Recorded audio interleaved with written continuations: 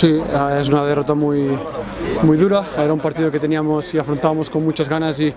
con mucha ilusión de conseguir los tres puntos, era, eran vitales porque creo que el Cádiz se lo han rival directo para, para, luchar para la salvación hasta el final. Y nos vamos jodidos porque creo que eh, podíamos haber hecho un poco más, uh, creo que hemos tenido bastante el balón pero nos ha faltado un poco de verticalidad, un poco de, de, de ritmo ¿no? y luego ellos se han encontrado también con con los goles, con la expulsión y bueno, siempre nos pasan cosas, pero tenemos que seguir adelante, intentar ser fuertes, uh, competir hasta el final con, como equipo y, y nada, mañana ya volver al trabajo fuerte, que, que, bueno, que esto no para. Bien, estoy contento de, de volver al terreno de juego.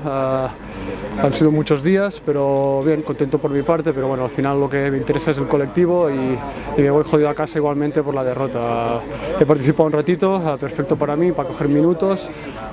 pero lo